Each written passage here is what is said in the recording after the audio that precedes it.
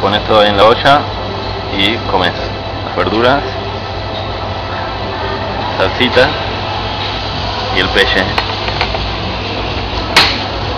Un espectáculo con arroz. Y ahí te lo cocinas. Muy grosso. Shabu shabu.